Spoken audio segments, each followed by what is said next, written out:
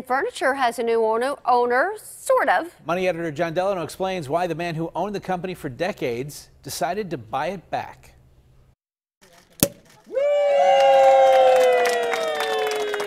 He's back. Two years after retiring and selling Levin Furniture, Robert Levin told employees he has rescued his one time family business from going out of business. Last night at 8 o'clock, I was able to make a deal to extract our wonderful company uh, and to uh, continue on. His motivation saving over 1,200 jobs. All of our employees in Pennsylvania and Ohio are going to be retained and we're moving forward. It's overwhelming because we went from being to where we weren't sure if we were going to be here.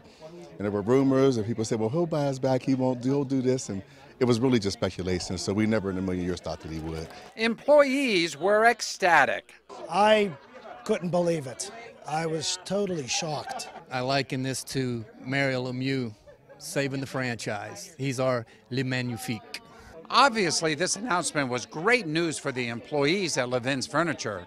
But Robert Levin says it's also good news for customers. We have a little backup on some inventory issues, so it may take a while to get uh, our trucks rolling and furniture and mattresses delivered. But rest assured, any commitment that we've made to our customers will be fulfilled. And it wouldn't be Levin's without this. We are going to have an incredible sale very soon. Jon Delano, KDKA News.